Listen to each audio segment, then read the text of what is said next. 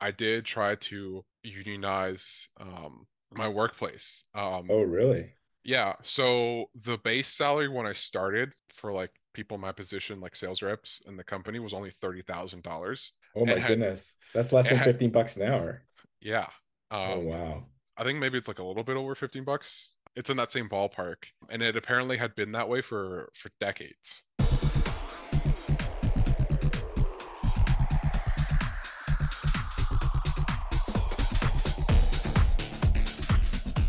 Hey, fellow workers, my name is Kim Siever. Welcome back to the Alberta Worker Podcast. This is episode one of season two, and I would like to acknowledge that we are broadcasting from the territory of the Niitsitapi. Our guest for the first episode of our second season is Juan Estevez, who is a terminally online socialist cat dad. We are very happy to welcome you on board, Juan. Thank you for joining the Alberta Worker Podcast. Thanks for having me, Kim. I'm currently uh, in Calgary on Treaty 7 territory. And yeah, thanks for having me. Okay, great. So why don't we just get straight into it? So, Juan, the bulk of this podcast is just going to be you talking about your life story, like where you grew up, what your family life was like, the education you might have received, and then, of course, also talk about your personal labor history. You can intersperse that with your life story, or you can put it on to talk about it separately at the end. It's totally up to you. And then I'll just come in and out and ask questions as as the case may be. So floor's all yours. I was born in Colombia in the capital city Bogota,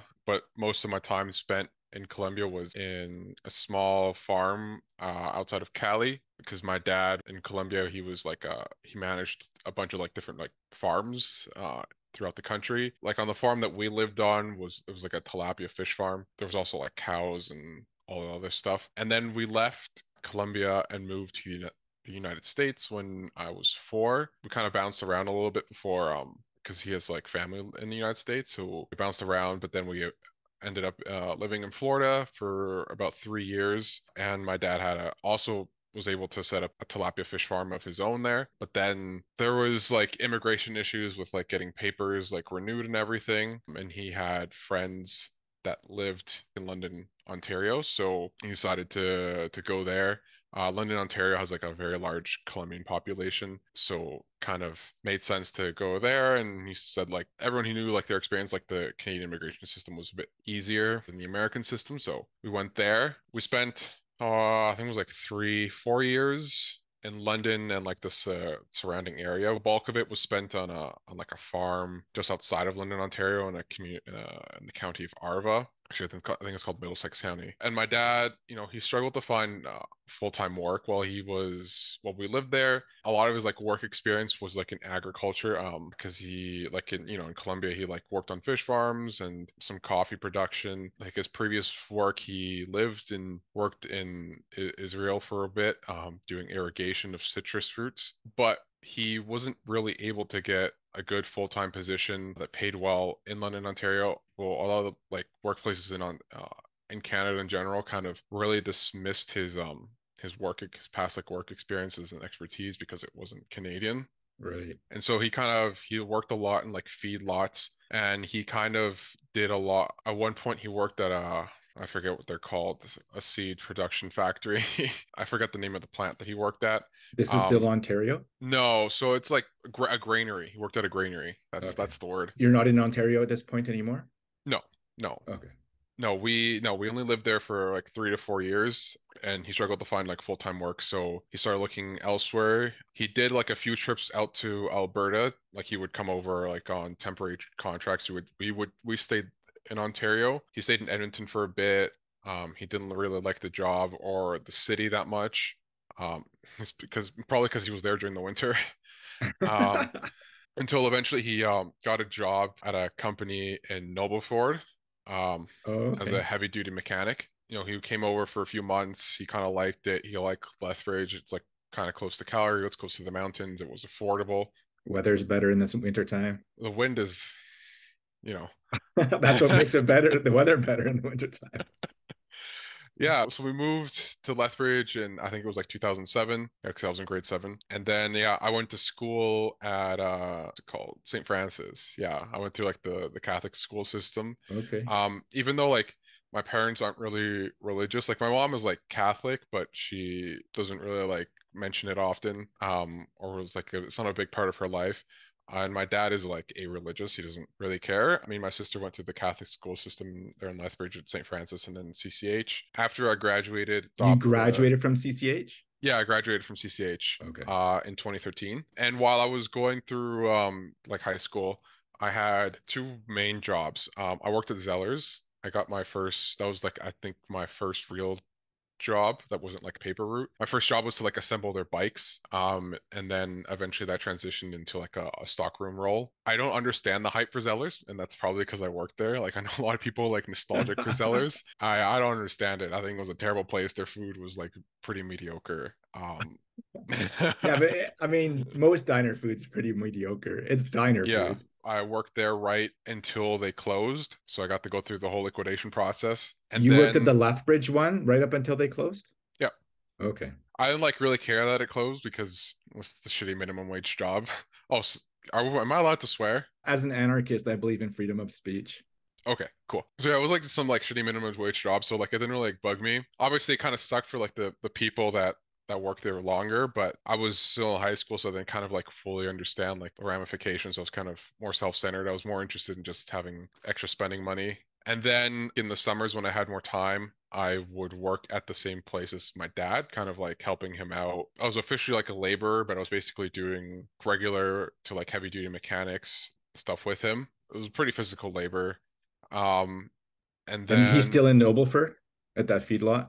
No, so at this point it was um at a company in Lethbridge called LA Power. Okay. Um so yeah, he was a heavy duty mechanic there for for a few years. That was probably like the best job he had in Lethbridge, like in terms of pay and like hours and everything. Uh, cuz he was kind of in charge. The owner kind of like just put him in charge of like all like the maintenance of like the fleet vehicles and everything. It was still not a, a great job just because like the, the the job is like very grueling. My dad like suffers from like a lot of like chronic injuries and pain now and there wasn't really benefits even though like it paid decently like as an hourly wage there's no real like health benefits and he really like never like took care of his health either because it was focused on just like working as much as possible to like help make ends meet and my mom growing up she like she would work part-time so she could like kind of take care of us but also kind of help make ends meet. She originally worked at Dollarama and then she worked at Sears uh, up until it closed there in Lethbridge. I, am like, sensing a, a, a theme among your family members.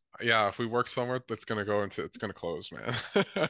yeah, and then after Sears closed, she um got a job at Shoppers before she started. She started a food truck. Oh, really? Um, like they don't live in Lethbridge anymore, but it was uh, a churro food truck.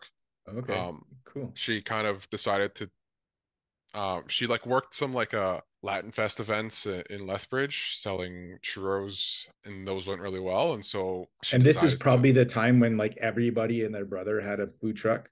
In so this was they were there. They were the ones starting the trends. Like they were they were okay. right at the, at the beginning of like yeah. the they're one of like the earlier food trucks in Lethbridge so that's kind of our life in Lethbridge. I graduated from CCH, um, and then I went to university at U, at U of L. They have like a double major in new media and marketing, uh, or just management program there because I originally was very interested in like in film. And I wanted to go into like the film industry. I like applied to like Vancouver Film School and the Art Institute of Vancouver.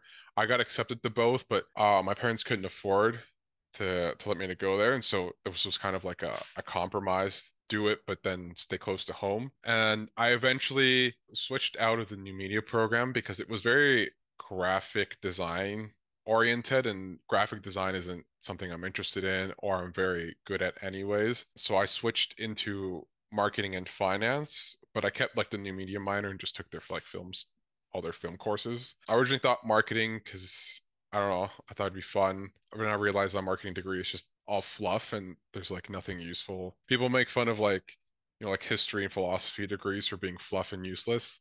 A marketing degree is much more fluff and useless than anything you could ever imagine.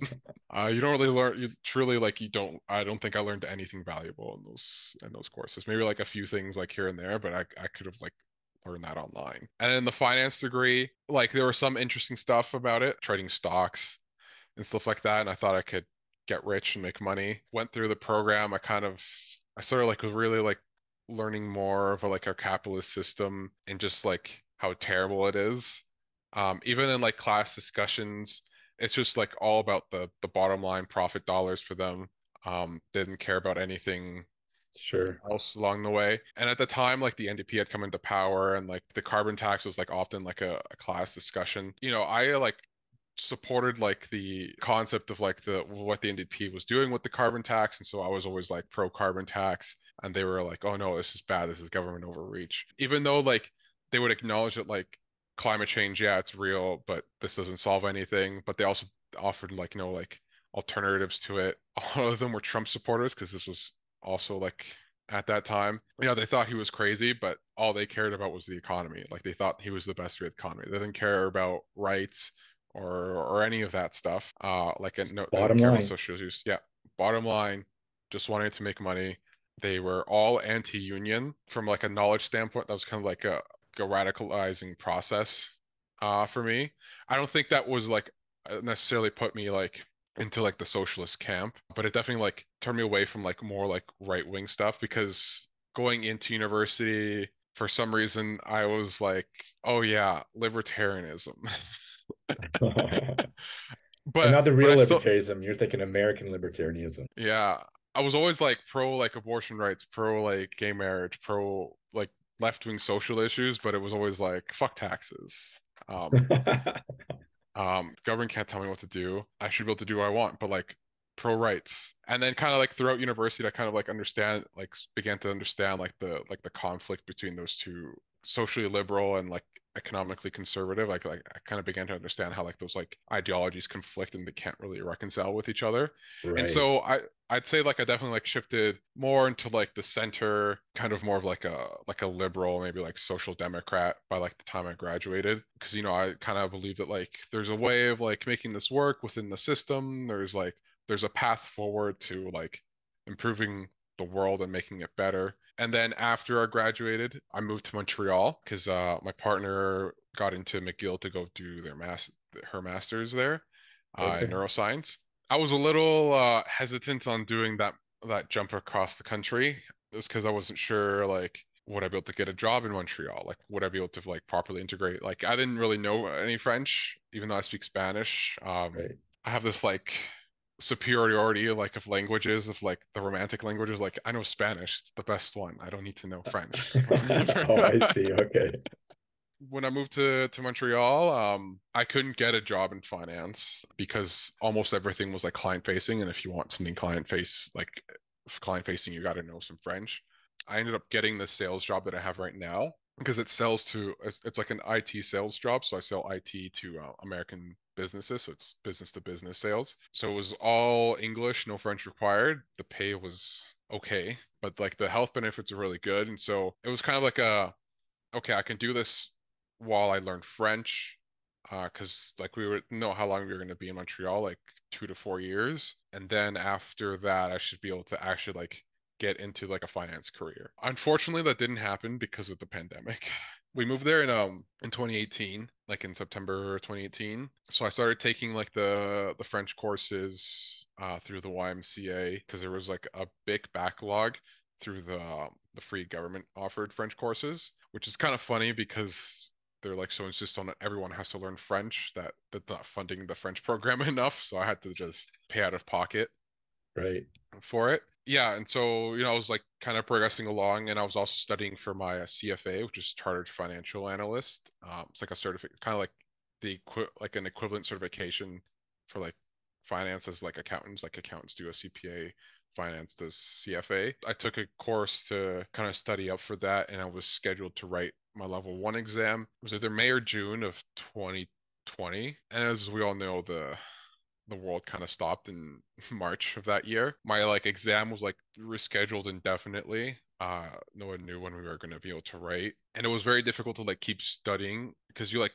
cram for like a short period of time to like know everything, so then you can just like dump it out on the exam. I didn't end up writing it until like July of 2021.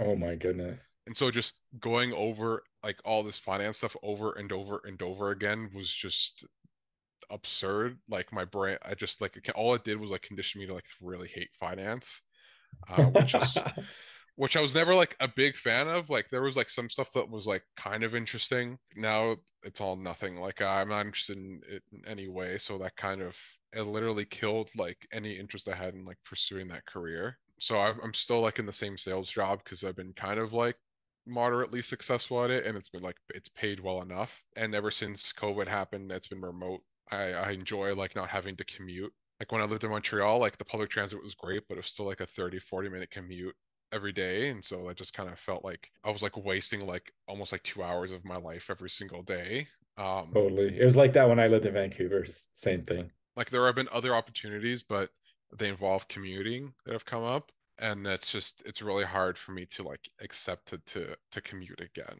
oh so um, you're one of those work from home people. Yeah yeah yeah i've been working from home for three years and i want to keep it going for as long as possible i mean i've been doing it for 10 so before the pandemic started, I did try to unionize um, my workplace. Um, oh, really? Yeah. So the base salary when I started for like people in my position, like sales reps in the company, was only thirty thousand dollars. Oh my had, goodness, that's less than had, fifteen bucks an hour. Yeah. Oh, um, oh wow. I think maybe it's like a little bit over fifteen bucks. It's in that same ballpark, and it apparently had been that way for for decades. Like there are people there for like 15 plus years who started at 30k and we're still at 30k. But they didn't really kind of care because the commission kind of made up for it. Right. But if you were like starting out, it was it was kind of rough living off that. After like I kind of found out like the salary structure, I was was thinking of ways of like, well, how do we increase the base salary? Because like commission isn't guaranteed money, and it's like important to have like the guaranteed money, in my opinion. Like like that's what you that's what you can rely on every month. Absolutely. Um, to to pay for everything. Um, and it's a billion dollar company. There's no reason they can't pay us more money. Um, they report massive profits every quarter. Sure. and so I started kind of thinking of ways of like how could that happen. I did like researching. It turns out Quebec has like the most union friendly legislation in the entire continent because all you need is 50% plus one of uh, members to like sign the union card. Right. And I think it was like that in Alberta too until the UCP got in. No, uh, it was actually different. Uh, the NDP set the threshold at 65, oh, which okay. was like extremely disappointing. Like labor leaders were like extremely disappointed when the NDP right. didn't make it 50 or 55 because the NDP in BC made it 55%, but Quebec is even better at just 50% plus one. Okay, that's awesome. And that's automatic. You just get 50% plus one, and then you automatically qualify yeah. for union Yeah. you don't have to do like a vote. If you get like 35% of people to sign, then you can go through the voting process. Okay. Um, but when I talked to the to like the UFCW rep that I reached out to, they prefer to just do the 50% plus one because then that's just there's no right. lobbying. It doesn't give the organizations like time to like union bust. Yeah. So totally. if you can like secretly do it, get those signatures, then you're golden. So the office employed over 300 people. Like there were like over 300 people looking working at our office and our office was like divided in two so like it was two floors like there was like reps that sold that worked selling like into like the united states market and the top floor reps sold in, like in the canadian market. And so like we didn't really interact with like the people on the top floor. There wasn't like a lot of like intermingling so i didn't really know people that like worked in the upstairs part but i still like tried to like get like people that i knew involved. I did get like a handful of people to like sign the card. The people I got like were all like the same tenured as me. We like came in like at the same time and we were like friends, you know, we like went out after work all the time. We talked. When I started kind of trying to get more tenured reps on board, they were extremely hesitant. They didn't really want to get involved. They didn't want to sign something. One of them told me that someone previously had tried and the organization found out and the union busted. Yeah if you're tenured in the organization, it's because like you've been a successful rep, so you're you know you're making like six figures plus.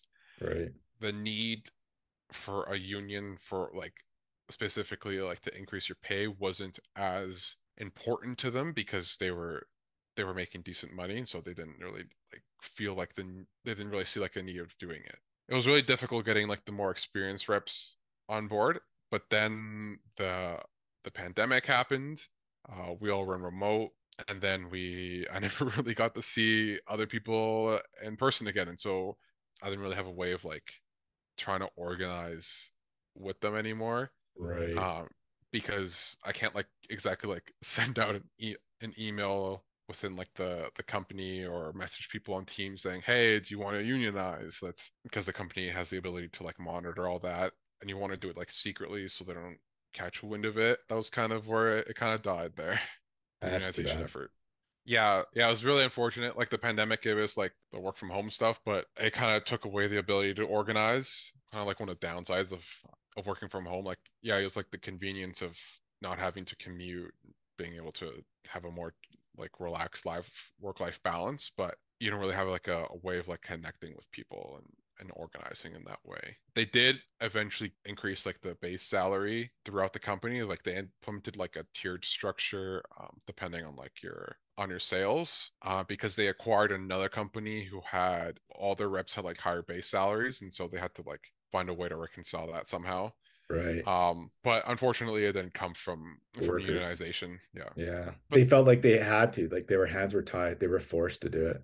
Yeah, because they're like the other companies like contracts were were like just better. But they're funny enough, they're like the other company that they acquired is like their work culture was worse based off from what I've heard from people. So oh, the really? pay was the pay was a bit better, but the work culture was like very boiler room. Uh... Um, my company kind of seemed to to try to keep the wage low, but like have a better like work culture and better benefits. And like our company didn't have like uh, had like a relaxed dress code, and the like the health benefits granted are like I will admit are, are pretty amazing. Like I'm like 100% covered for like everything. That's awesome. So yeah, that's just kind of where it ended. And then we moved back to we moved back to Alberta. We chose to move to Calgary after my partner finished her uh, her master's. She tried to get into med school, um, wasn't uh, it's kind of like a work in progress but the, but she works for AHS right now as a research coordinator uh, my parents moved from they like left Lethbridge and they moved to to Nova Scotia because they were tired of um Albertan winters um they wanted something kind of more mild and they kind of like semi-retired because now all they do is run their food truck out and um they like live in like the Yarmouth area like uh, which is like the southern part of like um, of Nova Scotia, and so they just kind of bought an acreage there, and and my sister also works in Hal like she she moved to Halifax first because she wanted to get out of Alberta. BC was too expensive. Uh, Toronto was too expensive. She wasn't interested in Montreal, even though I like I tried to convince her to go to Montreal, and so Halifax kind of seemed like the best option for her, and she works out there as um at one of like the Halifax shelters. She's like a, a supervisor. Okay, cool. And the food truck your parents are running is that still a churro food truck? Yeah, yeah. They moved. They moved with their like they took the food truck with them. Okay, cool, awesome. And so you are where you are now. The Alberta Worker Podcast is a proud member of the Labor Radio Podcast Network. Here's a jingle from another member of the network. Hello, I'm Dave Wehive, host of the podcast show, the IAM 141 Report. You can find the show on the Anchor Network or Spotify. The 141 Report is part of the Labor Radio Podcast Network. You can find over 80 channels of union related specific programs. Here you can learn more about unions and the labor movement. Be sure to visit us at laborradionetwork.org or hashtag Labor Radio Pod. Once again, that's hashtag Labor Radio Pod. And now back to the show. You're listening to the Alberta Worker Podcast when I moved back to Alberta, um, moved to Calgary, I was kind of interested in in getting into into politics because I just kind of wanted to to try and create a better world moving forward because there was I mean the pandemic clearly showed that there were a lot of things wrong, kind of like really like exposed and put things into like a microscope and magnified everything that was worse than before. I wanted to like get involved somehow and, and politics kind of seemed like an opportunity to do that, especially because there was like a, an, a looming election in 2021. So I got involved with the NDP because because at that point that was the most left leaning party there was, even though like they're not really a left wing party, but that was as close as you can get to one. And they were doing decently in the like kind of in the polls. Jagmeet kind of seemed like a charismatic leader, and it you know it gave like the illusion of maybe they had a chance of of forming at least like a, a minority government or at least putting like a, a big dent in things. Their their platform wasn't bad. The big thing I really like supported and liked about it was like their the universal health care like making your healthcare truly universal, you know, including pharmacare, dental care, and vision care, and mental health care, and, you know, catching us up to to the rest of the Western world with, with universal healthcare. I mean, yeah, when you compare Canada to the United States, like our healthcare system might seem better, but when you compare it to Europe, it kind of really shows the flaws of like how little is actually covered here um, Right. And even compared to to other places, like even in South America, like when I was in Argentina one summer, they they have like actual universal healthcare too, and it's for everyone. Like I was a tourist there, I, I got really sick and had to go to a hospital. I didn't have to pay for anything, um, Wow.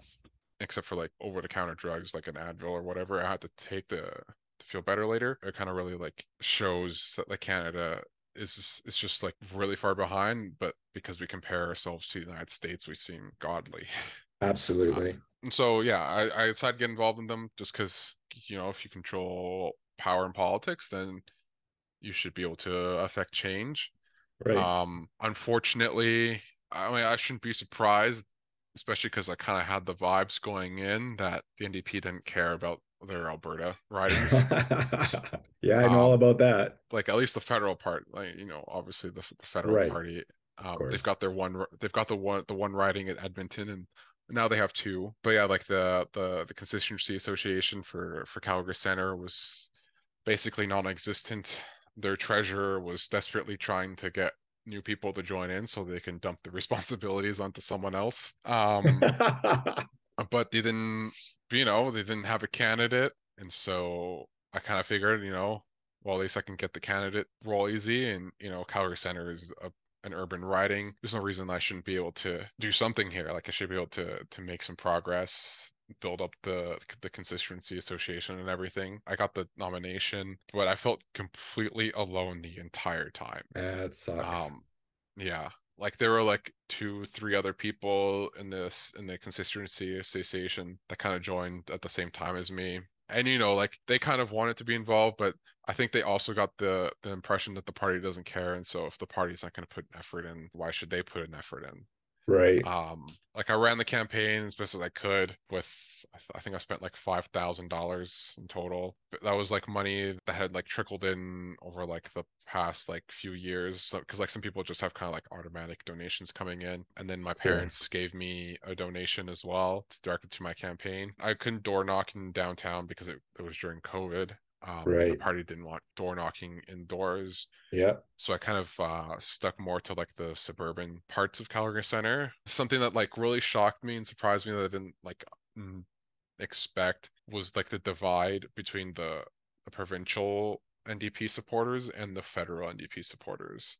Yeah. Absolutely. Um, just because you know, you like you like go up to to houses with like pride flags or the Save Education or healthcare or Save Our Parks signs, and you're like, oh, these people should be at least friendly and receptive to to hearing my message, and at the very least, should be like not rude. You know, should, they should be like easy door knocks. So many of them were not nice. really. I remember, yeah, I remember going up to a house near the beginning of the campaign when I needed to get like signatures to get my name on the ballot. I went up Right. to to a house with a pride flag and I was like, okay, th- this should this should be like why wouldn't they sign this? Like they didn't want to sign because they didn't want my name on the ballot because they didn't want to split the vote because they're going to vote liberal and they support the Alberta NDP but don't support the federal NDP.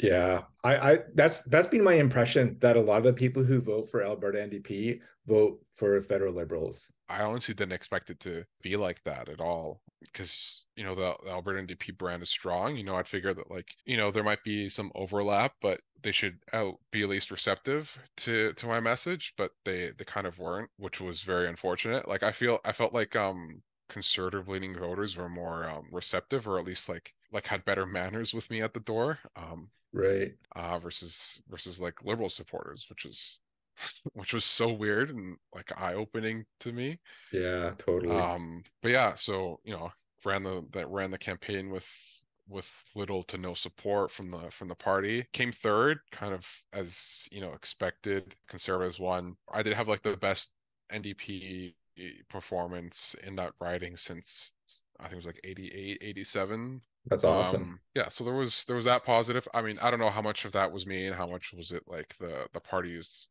marketing. Sure. obviously, but I mean it's something.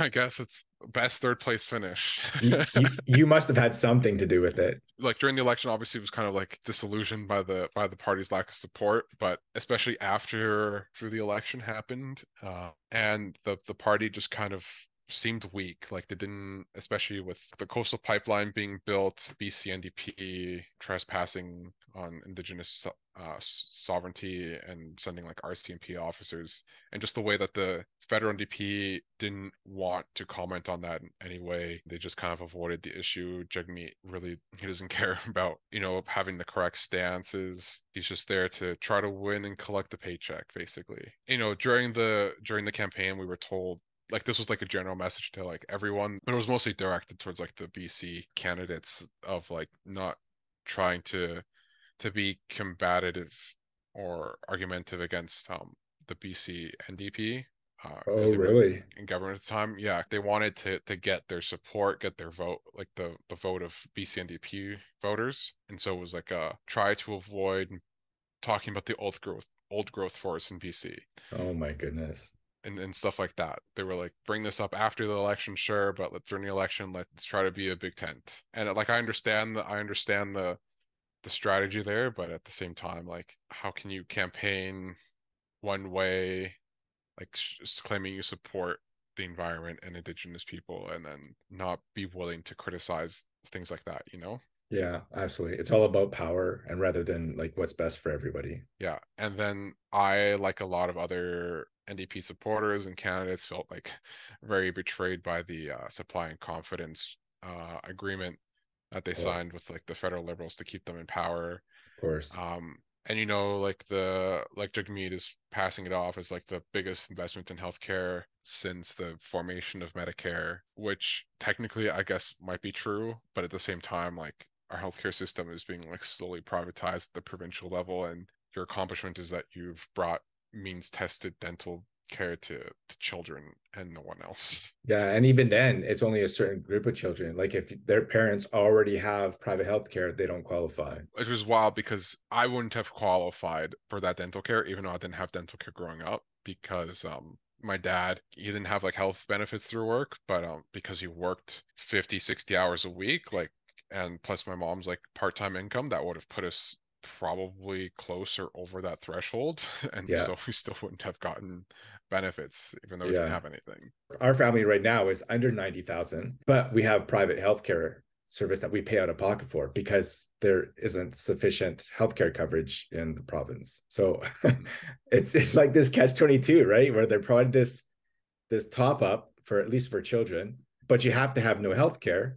Well, we have healthcare because there's no healthcare. It's like so ridiculous. Yeah it's it's really it's really bad and just like now having like the healthcare like the work that i do have like being able to go to a dentist and walk out without pulling my pulling out my debit card or credit card is that's so wild and it's like why can't everyone have this like there's no there's no reason why like this should be the standard Absolutely.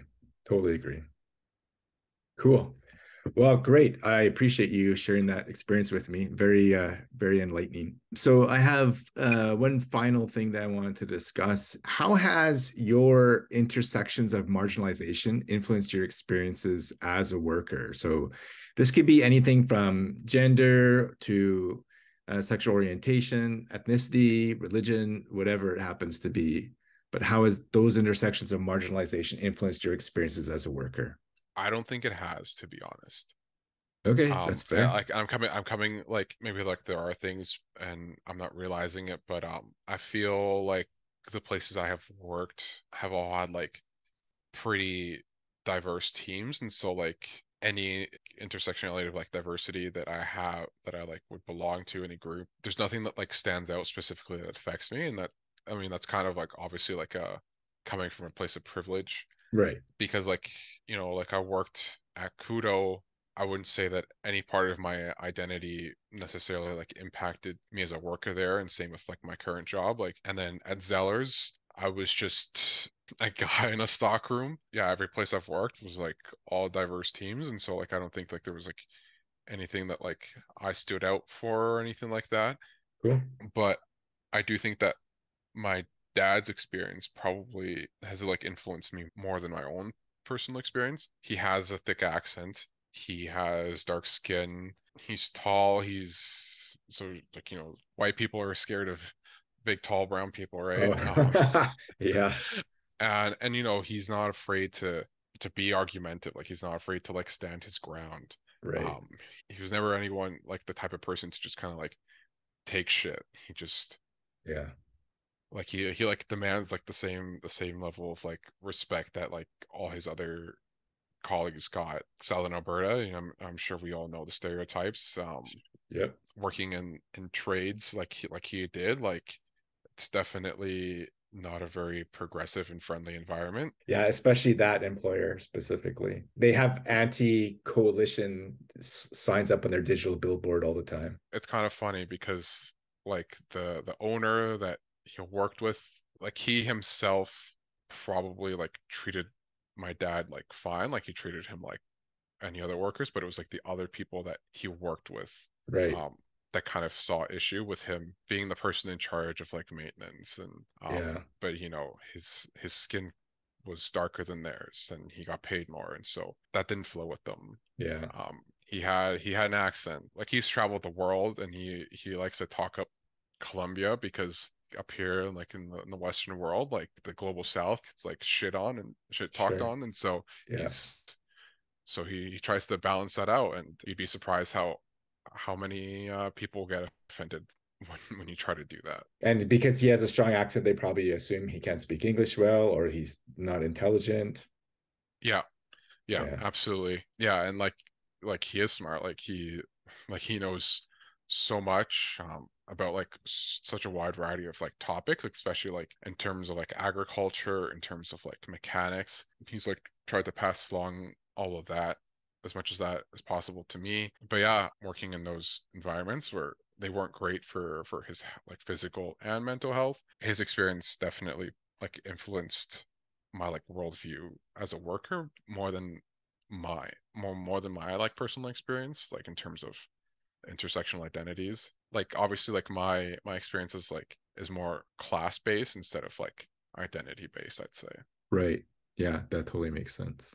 Okay, cool. Yeah, I appreciate you sharing that with me. Um, any final thoughts for our listeners? unionize your workplace don't yes. be find out how much everyone makes tell everyone Totally. like slowly like leak it out find t- tell people you know make make wage transparency a thing Yeah, make Totally. them make make them aware of of how badly they're getting screwed over by management and, and take back power nice. Where can people follow you and your work? Do you have a website, social, newsletter, podcast, whatever? I just have my my Twitter at the Juan Estevez. That's about it. I don't have any.